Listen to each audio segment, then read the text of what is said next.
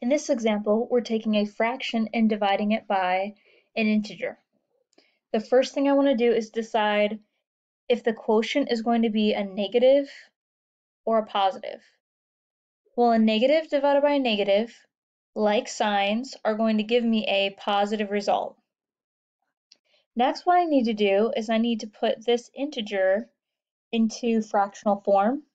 So I'm going to take the 6 and place it over 1. To change an integer to a fraction, you just put it over 1. And then what I do is I keep the first number the same.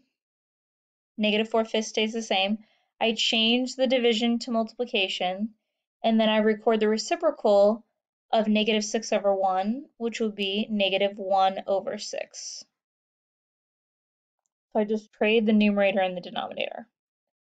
And then I'm ready, well, let's use that color, to multiply the numerators, multiply the denominators, and then a positive divided by positive, we said gives us a positive. And then at the end, I'm going to reduce. And I get 2 over 15. Your other option would have been to see over here that you could divide 4 and 6 by 2, but I didn't have a lot of room up here to show that division, so I decided I'd just multiply the numerator and denominator and then reduce. So my final answer to negative 4 fifths divided by negative 6 is positive 215.